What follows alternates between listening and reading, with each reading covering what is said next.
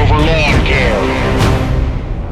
We have sown the ground with a pure ideology that drowns the earth in pesticides without regard to the safety of children or pets. Our millions in advertising is a powerful weapon against any competitor on earth. There is but one